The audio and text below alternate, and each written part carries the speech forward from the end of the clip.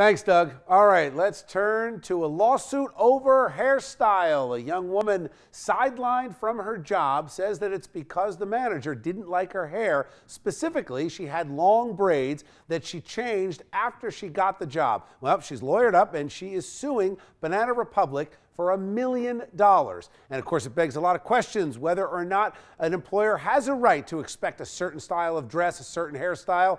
But what about if you've got a manager that, at least according to this young woman, said some things that she took as racist, including calling her hair an urban style? All right, let's bring in a legal expert. Attorney Armen McOmber joins me. Armen, welcome back to Chasing News. Good evening, Bill. How are you doing tonight? So here's the question. I'm doing great, thank you. I, the question is this.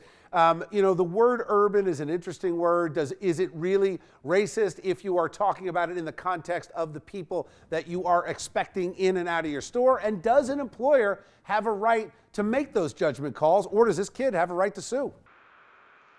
Well, I think she probably, uh, I think what happened was probably not appropriate. I think, um, you know, you're putting yourself at risk. Certainly, I'm sure Banana Republic or Gap doesn't want their managers going to African American women and telling them that they look too urban. Uh, I think that's going to be uh, pretty much construed as a code word for too African American or too black. Where's the legal line if you're trying to match your customer base? And again, I don't know. You talk about Westchester County. I don't know. Maybe majority of their customers are white and they want to match that. I again, I don't know those answers. But is there a legal definition somewhere, or do the employers have to be completely uh, colorblind when it comes to their staff?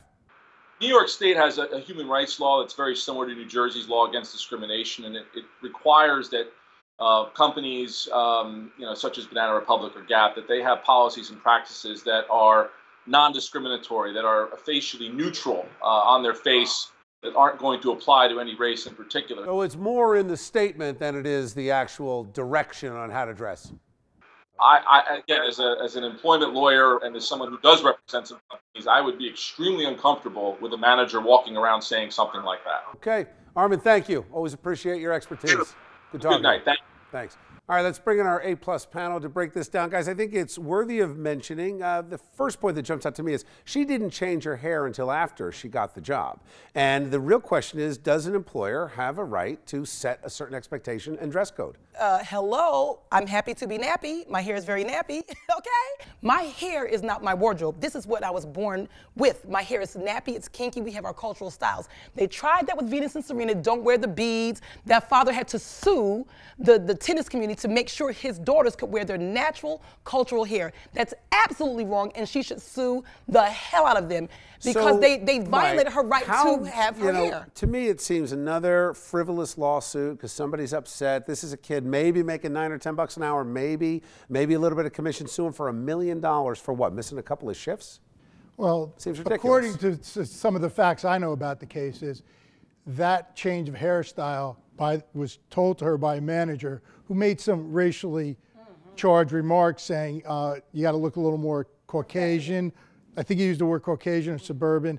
And you know, it's well, not he, just not wait, wait, but story, it's not just nine dollars an hour. He said it looks urban. Urban is code for black. Urban is code for Negro. And and, and there's is. not a question of right. a kid with minimum wage.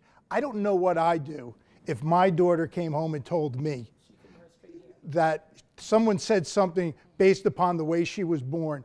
So I don't know, Bill. So let me what ask would you, this. do? Should a, how do you compensate well, for that kind should of pain? A, should a white model then, a model, let's say, you know, sales billboards have a right to sue if she doesn't get used, let's say, in certain parts of Newark? It depends on the reason But she why. does. Newark is full of billboards with white people's faces on it. And Bo Derek was a 10 in a movie years ago when she wore braids and beads. But when we wear braids and beads, we're suspended, i.e. fired. Come on, Bill. Really? Always race. Always oh, race. God. All right, gotta you leave know it there. Is, Bill. Thank you, guys. Great to see you. Thank you, Alicia. Thanks, Lisa. Thanks, Mike.